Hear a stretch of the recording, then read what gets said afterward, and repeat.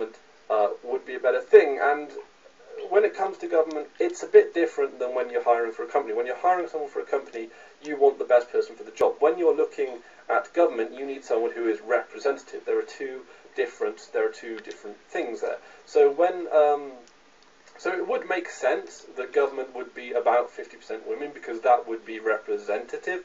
Uh, now, obviously, when you are voting for your MP, you are vote. Competence is a big factor in that as well, but uh, so is representation as well. So there is perhaps more of a, a case for um, taking women more into account in terms of, of government and politics as well, um, and also with, with, with race as well, and also uh, I've noticed in America religion because there aren't very many atheists in